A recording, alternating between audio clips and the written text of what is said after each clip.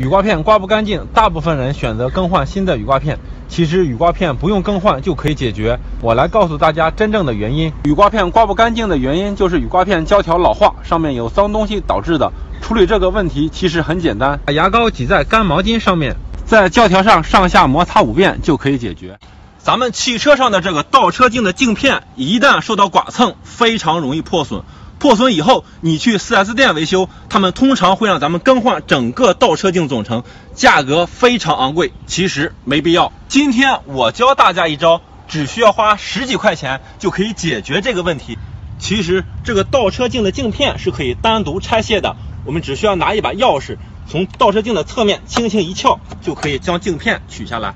然后咱们再去网上根据你的车型花十几元钱买一块相同的镜片，给它安装回去。问题就可以得到解决。安装的方法也非常简单，咱们只需要把镜片对准倒车镜的底座，轻轻一按，当听到咔嚓一声响时，镜片就安好了。你知道一台跑了五六年左右的车，它最害怕的是什么吗？第一，它最害怕的是可乐。我们的大灯在使用久了以后，可能会出现老化或者发暗的情况。我们只需要将可乐倒在咱们的大灯上，然后再用抹布擦拭干净，大灯就可以光亮如新。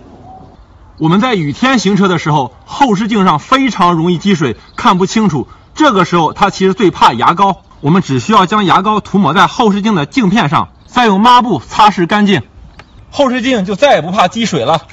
我们的车门在使用久了以后，会出现嘎吱嘎吱的声音，此时它最害怕的是肥皂。我们只需要将肥皂涂抹在咱们的车门铰链上，再来回开关几次，车门一响就可以得到彻底解决。